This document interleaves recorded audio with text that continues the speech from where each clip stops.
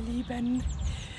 Ich melde mich heute. Äh, es ist Rosenmontag, deshalb ist hier auch so Lärm, weil bei uns im Ort heute Umzug ist. Aber äh, den werde ich mir heute nicht anschauen, weil ich habe heute ein Vorstellungsgespräch. Ich hatte euch ja... Oh, Entschuldigung, ich bin ein bisschen außer Atem, weil ich gerade einen Berg hochgelaufen bin. Ähm, ich hatte euch ja, glaube Mitte letzter Woche äh, das letzte Update gegeben, dass ich eine Absage bekommen habe vom Klinikum wegen der Ausbildungsstelle. Und am selben Tag äh, habe ich auch eine E-Mail bekommen, dass ich äh, eine Einladung bekommen habe zum Vorstellungsgespräch für ach, hier die Sozialstation von der Diakonie und äh, als Mitarbeiterin in, im betreuten Wohnen und genau, da habe ich jetzt heute Nachmittag das Vorstellungsgespräch. Und jetzt laufe ich gerade den Berg hoch zu den Schwiegereltern, die dann sich um Raphael kümmern, solange ich beim Vorstellungsgespräch bin. Ich werde mich dann später wieder bei euch melden und berichten, wie es gelaufen ist. So, Vorstellungsgespräch ist beendet. Ich bin voll happy, ne? es ist echt gut gelaufen. Es war ziemlich locker. Also jetzt, wenn ich es mal vergleiche zu dem Bewerbungsgespräch im Krankenhaus letzte Woche. Und äh, also es war der äh, Geschäftsführer war dabei und dann noch zwei Mitarbeiterinnen vom, also vom Pflegedienst, beziehungsweise halt von, äh, ja, so von dem betreuten Wohnen. Äh, die hatten dann noch andere Stellen unter sich. Ähm, ja, auf jeden Fall war echt locker. Die einzigste knifflige Frage, die es gab, ähm, war, äh, dass der Geschäftsführer gefragt hat, ja, ähm, äh, wie würden Sie einen äh, Ausflug organisieren ähm, mit, den Mitab äh, mit den Bewohnern des betreuten Wohnens. Da habe ich mich schon kurz so ins kalte Wasser geworfen gefühlt. Aber ich habe mir dann schnell was einfallen lassen und ich glaube, die waren zufrieden. Und ich glaube, die waren auch allgemein äh, zufrieden von mir, weil ich darf morgen zum Probearbeiten. Ah, ich bin voll froh, dass ich da gleich jetzt gleich weitermachen kann. Äh, wie gesagt, morgen um 8 muss ich wieder hierher und dann zum Probearbeiten, wo ich mir das Ganze am Abend schaue. Gefällt mir das dort? Ähm, ja, wie komme ich mit den Mitarbeitern klar? Und genau, da freue ich mich drauf. So, hallo ihr Lieben. Ich wollte euch mal noch von meinem Probearbeitstag, Schnuppertag äh, berichten, den ich in der Sozialstation, äh, der diakonischen Sozialstation hatte, äh, im betreuten Wohnen. Ich war, also um 8 Uhr morgens musste ich dort sein.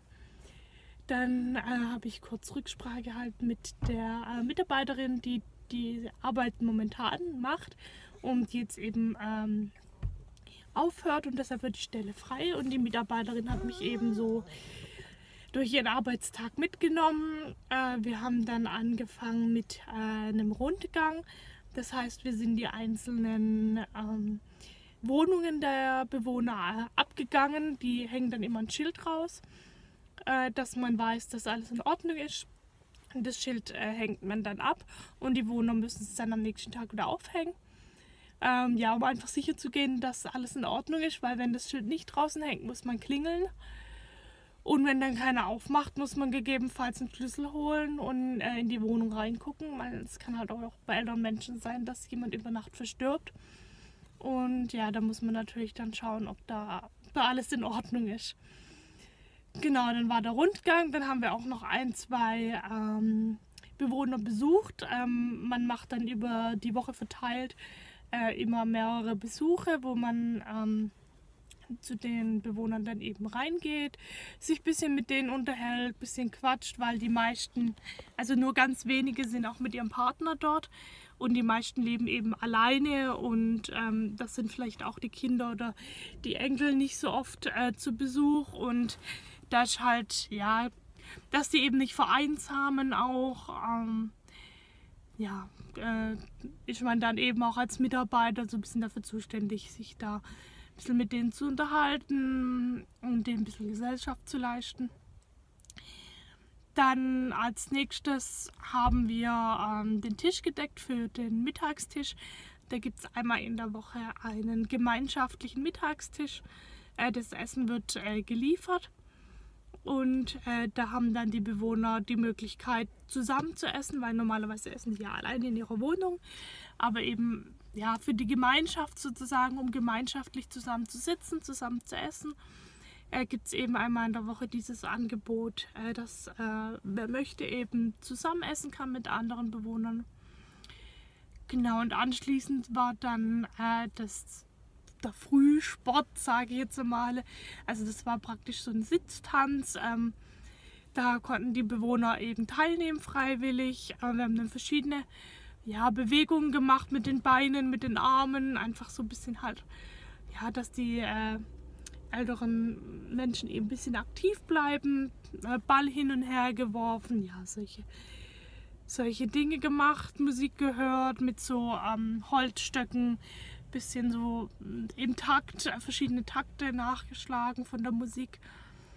Ja, und dann, das wechselt praktisch jeden Tag. Ähm, mal gibt es auch ein Kreativangebot oder ähm, ja auch nochmal was Musikalisches. Dafür ist man dann eben auch zuständig, das zu organisieren, zu planen, wann mache ich was, ähm, rauszusuchen, was für Sitztänze zum Beispiel macht man Genau, und anschließend ging es dann zum Mittagstisch. Äh, da haben wir dann praktisch das Essen, was geliefert wurde, auf die Teller verteilt und eben äh, den Bewohnern, die eben zum Mittagstisch kamen, äh, hingestellt. Und äh, ja, wenn, als sie dann wieder fertig waren mit Essen, haben wir dann wieder abgeräumt und äh, eben dann halt das Geschirr sauber gemacht. Da stand so äh, an diesem Gemeinschaftsraum so eine kleine Küche, da haben wir dann äh, das Geschirr sauber gemacht und dann muss man auch die Behälter von dem Essenslieferservice wieder sauber machen. Und ja, dann haben wir noch äh, den Essensplan aufgeschrieben für die nächste Woche. Also da haben dann praktisch die Bewohner gesagt, was sie dann die kommende Woche äh, sich zu essen aussuchen wollen. Und dann auch noch äh, aufgeschrieben, wer im Urlaub ist, wer vielleicht im Krankenhaus ist, wo dann eben kein kein Besuch gemacht wird oder ähm, ja, dass man halt weiß, wenn da das Schild nicht draußen hängt, äh, ah, okay, der ist jetzt gerade im Urlaub oder ähm, ja, das muss man dann halt immer eben aufschreiben. Und damit war eigentlich mein Arbeitstag auch schon wieder rum. Das ging von 8 bis um 13 Uhr. Also ähm, das ist so eine Teilzeit, also eigentlich keine richtige Teilzeit, also nur eine so eine halbe, dreiviertel Stelle ungefähr. Also es ist kein Vollzeitjob was für mich aber vollkommen ausreicht. Und mir hat es auch echt Spaß gemacht, mir hat es wirklich gefallen. Ich könnte mir das super gut vorstellen, das zu machen. Auch weil ich es selber gern so kreativ bin. Ähm, Gerade äh, mir da äh, solche Angebote zu überlegen für die Bewohner. Ja, jetzt äh, kriege ich innerhalb vom nächsten Monat äh, eine Rückmeldung, wie es weitergeht, ob ob ich eben die Stelle bekomme. Es ist ja auch so, dass, es, dass die zwei Wohnheime haben, also zwei betreutes Wohnen, äh, wo verschiedene Stellen, also verschiedene Stellen mit verschiedenem Umfang angeboten werden. Genau. Da halte ich euch natürlich auf dem Laufenden, ob ich da die Stelle bekomme. Ich hoffe natürlich sehr, dass es jetzt endlich mal klappt, dass ich endlich mal arbeiten gehen kann, darf. Und sag dann Tschüss und bedanke mich fürs Zuschauen.